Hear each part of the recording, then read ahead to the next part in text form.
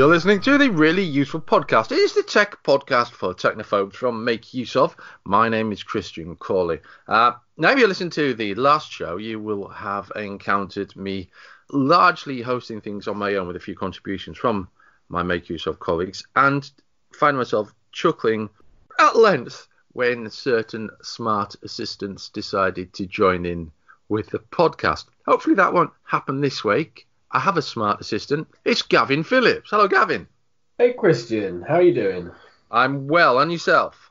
Yeah, very well. Yeah, enjoying the beautiful Cornish sunshine today. Actually, it's a jolly nice day down here. Yeah, it's a nice day here in the northeast of the UK as well. Now, um, as you may have gathered from the title of this week's podcast, we are looking at things that will help you in the event of self isolation, enforced remote working. This is initially uh, inspired by the current spread of the COVID 19 coronavirus. But, you know, the tips that we have here are they're, they're longer term, they can be used in any self isolation or remote working uh, scenario. So, we're going to be looking at some tips and tricks for doing that. Uh, we're going to look at some news first, and we've also got some giveaways to mention that we'll make use of at the moment. We're going to kick off with some news related to COVID 19. NVIDIA, the uh, computer game chip and lastly, game streaming service company, are calling on gaming PC owners to put the systems to work fighting COVID 19 using the Folding at Home application. And now, this is interesting that this comes along now, as it's only been a few weeks where the uh, similar project for searching uh, life extraterrestrial life in space has come to an end. What happens is you use the application and you spare clock cycles toward advancing humanity's scientific knowledge of coronavirus. Have you ever used a tool like this, Gavin? Uh, I actually signed up to the uh, the SETI program one when that was up and running um, right. years ago, and gave some of my CPU over to it every now and then, mainly when I remembered to turn it on. it wasn't all that that often, I, I must admit, but if you are contributing something towards a greater good like that, and, and you can do it as easily as leaving your computer on overnight, you know, you're going to be away from it for at least, you know, six, eight, 12 hours. And it could make a big difference in the long run. So it's well worth doing if you can. Yeah, absolutely. Now, it's not a new project. Folding at Home has been around for years. Uh, you could find it on the PS3 a few years ago. A new group of projects including SARS-CoV-2, the virus that causes uh, COVID-19, and the related SARS-CoV virus were made available on the surface earlier this week. Now, if you want to do something to help, then installing the software on your computer and leaving it running can contribute to that using uh, cloud computing for research, basically. You'll find the link to that and everything else that we discussed in this week's Really Useful podcast in the show notes and uh, reacting to news that people will be at home, enforced or voluntarily, over the coming weeks. Disney has brought Frozen 2 to Disney Plus three months early. So that's um, I mean, it basically gives you something to watch on Disney Plus. Also, it's a bit of a if you haven't already signed up to Disney Plus, then there's the opportunity you miss Frozen 2 or you just want to watch it again ad infinitum subscribe to Disney Plus now rather than in three months' time and watch it. It's a good uh, good play by Disney, isn't it? It's something yeah. that's very nice for all the families that are inevitably going to be stuck at home during this. It's a great piece of marketing for them Absolutely. as well. Um, and there's probably a lot of families that didn't didn't catch it at the cinema first time round, despite its massive popularity. I think it became the biggest animated film of all time. Um, so if you haven't seen it, it's going to be on your screens in your home in the next few weeks, and you can learn all of the songs to go along with it if you hadn't already forgotten the ones from the first Frozen film, which my kids still sing. So wow. the ones from Frozen 2 haven't quite caught on in the same way. So yes, uh, I haven't seen Frozen 2, but I've heard plenty of it. well, you're going to get a right earful, I guess, when you start watching that at home with your guys. yeah, I'll just put my headphones on. listen to some blues music. So I wonder if uh, any other streaming providers will follow suit with that. I, I guess we'll see over the coming days. You may by the time this goes live, there could be more stuff going dropping early. Yeah, absolutely. There are other services that are making changes uh, like Disney, not bringing stuff forward, but um, Pokemon Go, for instance, which you know requires you to be out of the house and searching for, for Pokemon everywhere. The Niantic, the developers of Pokemon Go, are making changes to make sure that everybody can still continue playing within their own home, so they won't lose any of their progress within the game. They'll still be able to access the Pokestops and and what have you um, without having to break isolation if that's what's going on. So it's good that tech companies are stepping up and, and creating alternatives for people, really. Yeah, absolutely, absolutely. And uh, MSI, the computer hardware manufacturer, have extended warranties in response to coronavirus. The warranty applies to desktop and all in one PCs, motherboards, monitors, and computer cases. So it's offering a free two month warranty extension to customers who own an eligible product with a warranty that was due to expire this month in response to the health emergency that is global coronavirus. The epidemic has taken the world by surprise with its infectiousness, MSI says. Due to this outbreak, life has been disrupted in many parts of the world, and fresh cases and tragic deaths have been reported with every passing day.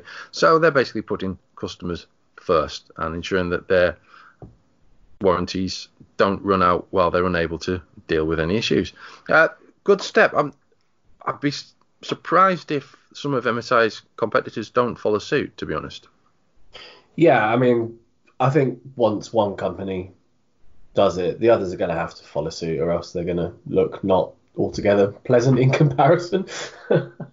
um, but I know other companies, not uh, competitors with MSI. Um, I was going to talk about American ISPs. Um, are have announced that they're going to postpone overcharge payments, late fees, and termination of of services uh, to keep people connected, and those ISPs include AT&T, Charter, CenturyLink, Comcast, T-Mobile, Verizon, Sprint, and Cox. So if you're on one of those ISPs and you are suffering, um, they have announced, yeah, that they're not going to suddenly cut you off and cut off that vital lifeline. So that's that's a positive as well. Okay, so we're going to move on to give you some tips and tricks for home and remote working now. If you've been forced to work from home or you've decided to make that decision to um, uh, avoid contact with people that you work with during any kind of infectious outbreak, it's good to know what you're doing before you start. Working from home is not an easy step to take, whether or not it's a plan for the rest of your life or the rest of your immediate career, or whether it is an enforced decision. I've been working from home since 2010, and I'll be honest with you, when I first started, it was surprisingly simple as long as I had a schedule to stick to. As soon as uh, the children came along, it became a lot tougher. I think you'd probably agree with that, Gavin. Yeah, absolutely. Um, but I've always had uh, kids in my working from home life. But I've actually added to the amount of children I have, which uh, has presented difficulties, especially in our living situation in a in our previous house where there was no I had no dedicated space to go to. I was sitting on the dining room table basically with my computer uh, and what have you and the kids would be in and out of the room running around. If we ever had guests over or what have you i'd have to clear all my stuff off the table and you know it's just a nightmare. So yeah working from home presents a whole set of issues that you might not be ready for but there are a lot of ways you can get around them aren't there christian? Absolutely. Having a good preparation is important it's a good idea to spend an hour just planning exactly how you're going to approach working from home. Uh, obviously, it depends on how you're going to do it and it depends on your circumstances. But assuming that you're going home on Friday and you start work from home on the Monday, make sure you've got everything that you need. Uh, you could say there are four strategies for remote work. The first one is to create a safe and effective foundation for remote digital access. So make sure you've got internet access at home. Ensure you've got suitable devices for remote work you've got the access to connect to any servers that you might need to use. and a webcam for web conferencing with your colleagues, a good quality headset or headphones with a microphone. Ensure that remote access to business assets is um, secure, best on using a VPN. Now, this might be a paid VPN, although more commonly, there's a good chance that it is a VPN that has been set up by your IT department to connect from your computer to work servers. So it might be worth prior to taking the step to working from home, speak to your IT people to ensure that that VPN is set up and available for you to use to securely connect using an encrypted tunnel to your work servers. Working remotely means enhanced collaboration. It means better communication. It means more streamlined communication. There's always a time for water cooler conversations. And when you're at work, it's very easy to just hop out the office door, put your head over the cubicle, and offer a pithy comment about whatever's been discussed. But those discussions are gone when you're working from home. And the focus is on maximizing the, the time you have alone to get the job done and being available for coordination with other people. Would you agree with that? Yeah, I think you're right. Um, trying to create a sense of community, if you are very used to the, the office environment, that sudden change is difficult, but the discipline of using your time efficiently, um, I think actually keeps you going going in the long run. If you realise that you can sit and do it without having to stop every few minutes, um, or that you know you you're not having the distractions, the background noise, and, and all that sort of stuff that comes with the office environment. You can really, like you said, maximize your time and maybe get more work done than you've ever done before. Yeah. Another thing I would suggest is try and focus particular days on particular types of tasks. So if you have a day where a lot of productivity is required, then focus on getting all those jobs done for instance, today, as well as doing this podcast, I've got a at least one VPN to write a review for. So there's possibly two VPNs to review. So I will be working pretty much hardcore on doing those things. Whereas last week I was messing around with installing things using Raspberry Pi, putting apps on Android, taking screenshots. So in between those things, I was very uh, naughty and played on my Xbox. Whoa. Yeah. You can't admit that. You can't admit that. Jesus. Trying to and, give them the know, good advice. it is supposed to be good advice. And this is good advice because the good advice part of this is don't get a false sense of exactly how much time you have to do things. Because yeah. as soon as things like watching TV or playing with the Xbox or playing with an app on your phone that you're not reviewing or taking screenshots of st- starts to take over, then you're losing out with the rest of the time and the focus is to get the work done and save that stuff for later on. Now, a Saikat Basu and Make Use of has put together this great guide of how to be productive when working from home. And one of the important things he says here is to set your clock. Now, I use a schedule, but I also set my clock by it. And uh, it's important. So make sure you're getting up. It's make sure that you use a calendar to set uh, reminders for when you're supposed to be doing things. These things are important. And also, if you're working from home, I think this is this is possibly the the productivity kickstarter for working at home. Is get dressed for work. Don't yeah. sit in pajamas. Yeah, I, I, I can't emphasize that that enough. Um, you know, stick to what would be basically a normal routine. Get out of bed, you know, grab your breakfast, get in the shower, uh, and as, as says, have a shave, do whatever normal routine you do. You know, if you're not going to the office, you know, you, you don't have to dress smart. You don't have to put on a tie on or anything, but put on your proper clothes. Do not sit around in your pajamas because that is a productivity killer. It will destroy your productivity. It's not the right mindset to approach a day at work, and because that's that's what it is. You you're still doing a day at work. You know, you can't sit around in your pajamas and focus on the task at hand. So yeah, I, I would completely agree with that. Even before this podcast, I got got dressed. I had a shower. Christian can't smell me, but I smell great. I can. and he does. Uh, okay, yeah. So there there are very other things you can do. You can put a do not disturb sign on the office door if that's appropriate. Uh, if you you know if you don't live alone, it's a good mm-hmm. idea. Ensure that the workspace that you're using is comfort comfortable and perfect for what you need it to be. So if you just need to write on a laptop and make the odd video call, then a laptop with a clear table, that should be fine. If you need to access multiple websites or multiple applications at the same time, you might need multiple monitors. You might need other things. You might need a graphics tablet, for instance. So you need space for that to be set up correctly. So ensure you take the time beforehand to find to, to, to, plan your space and where you're putting your papers, where you're putting your laptop or your desktop computer, where you're keeping your phone on charge for calls coming in, that sort of thing. Just be prepared. Preparation is key to all of this, I think. Yeah, absolutely. Yeah, I, I would completely agree with that. We're going to uh, move on now to effective tools to make remote working a breeze those things that we've looked at there, check in the show notes for our tips and tricks for home and remote working. Now, if you are self isolated, there might be a few things that you find in your downtime that you're bored, but maybe it's better to find something to do. There's tons of things that you could be doing. There really is. So we've basically got a list of things that you can do in self isolation.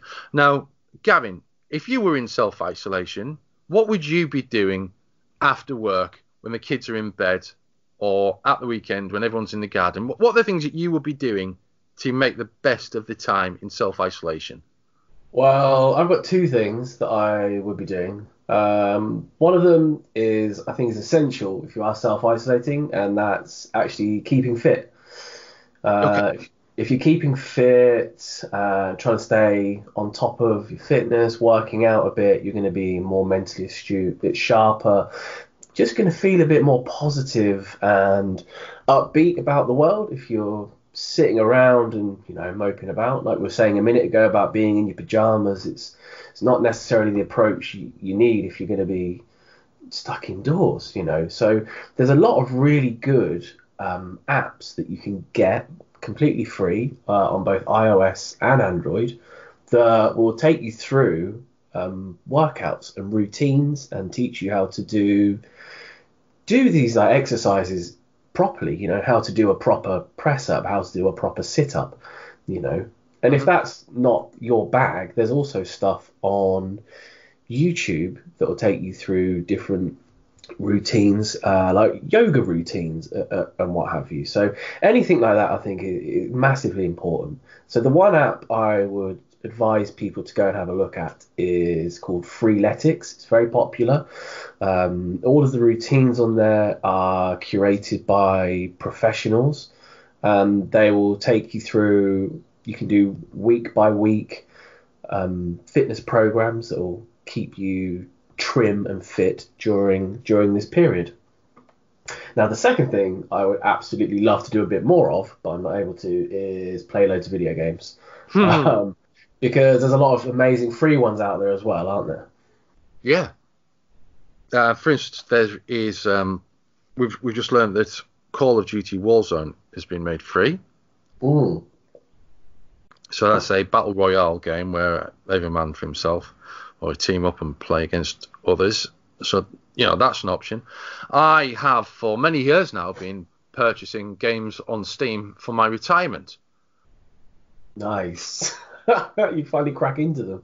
You can finally crack into them once self-isolated. Exactly. It's not just Steam either. There's there's all the others. There's UPlay and there's good old games, GOG.com. There's uh, all of these services. I've got games. Xbox One. I've got games that I've got using my uh, monthly. Is it is Game Pass the monthly one?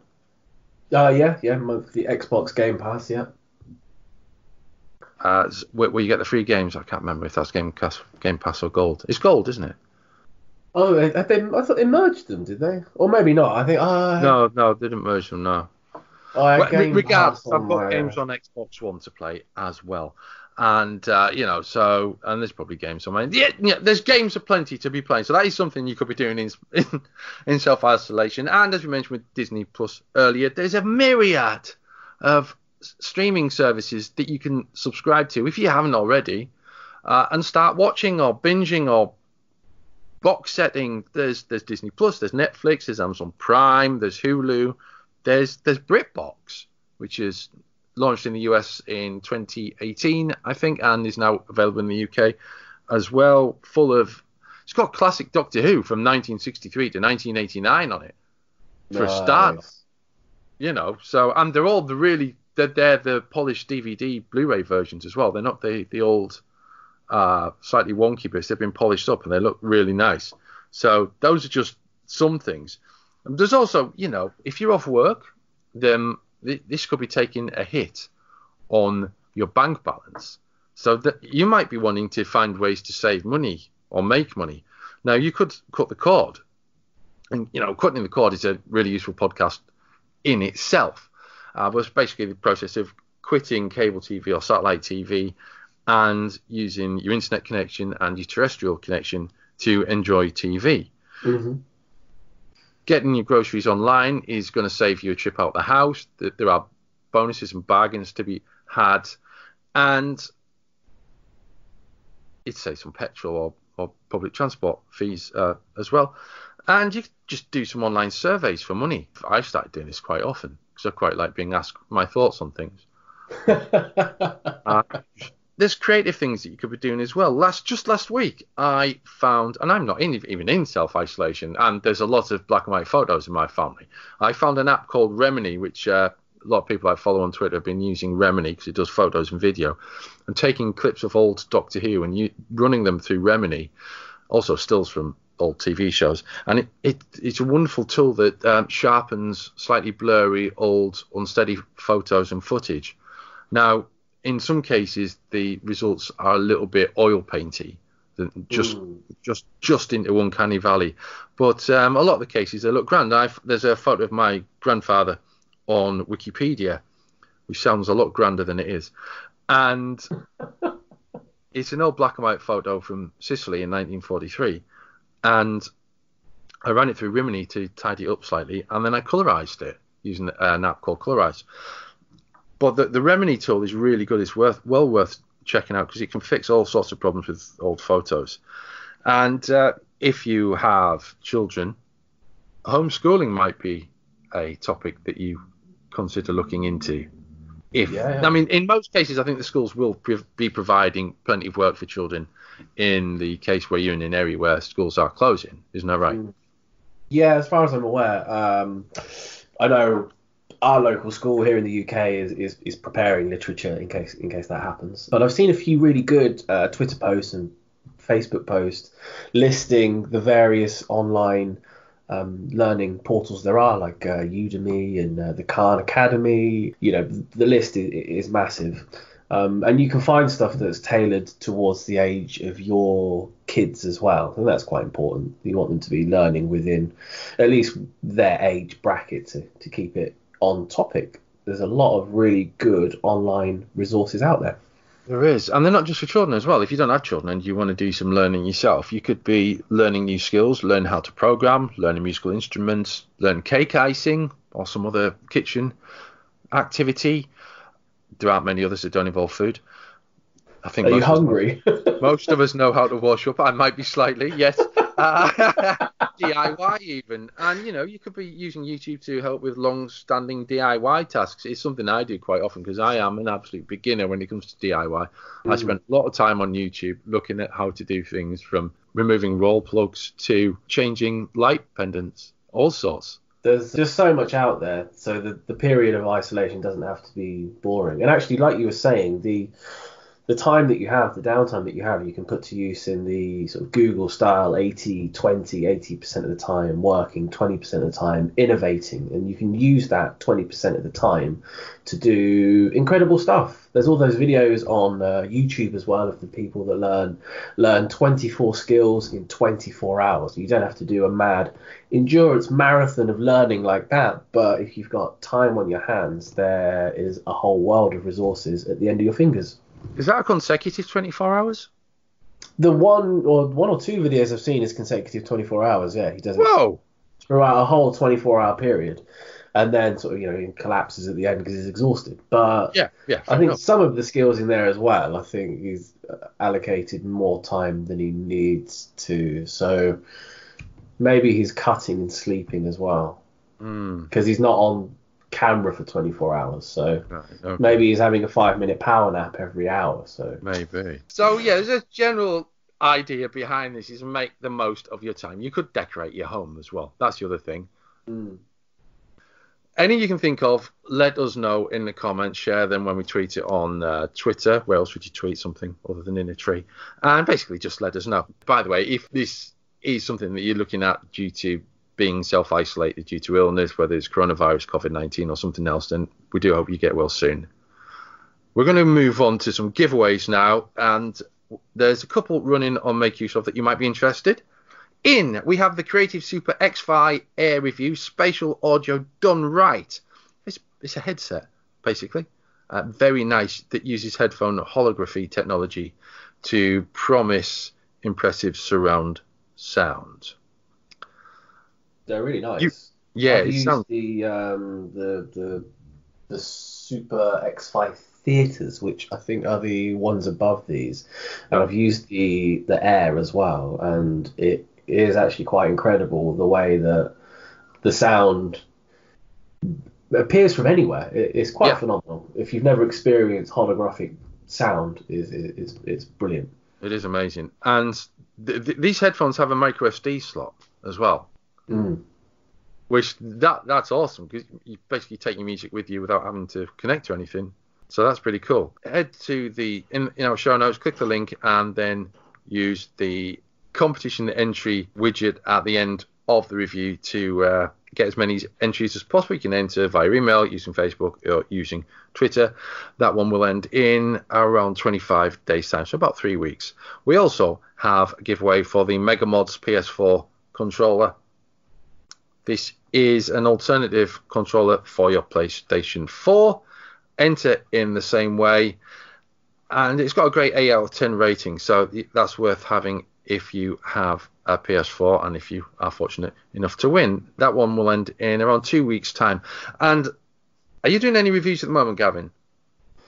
Uh, I'm not doing any at the moment. No, um, I must admit I've got a, a router sitting on. Well, it's been plugged in and then taken out again. It's sitting on my desk, and uh, our reviews editor, Mr. James Bruce, is, is still waiting for it. So Okay. I have a couple of things that I'm working on at the moment. One of them is the Retroflag Raspberry Pi case. It's not really a case. It's a basically it's a Nintendo Game Boy style console controller case with a so you can play games on it. Raspberry Pi Zero just slots in the top, and uh, so there's review and production for that. I've also just reviewed. A round of applause, please, everybody. The Librem 5 from Purism.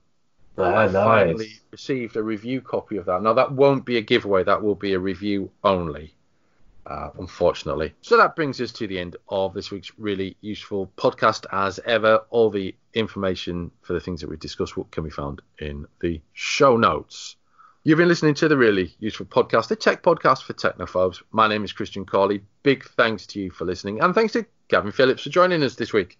We'll be back with a new really useful podcast next week. Until then, it's goodbye and, if necessary, get well soon.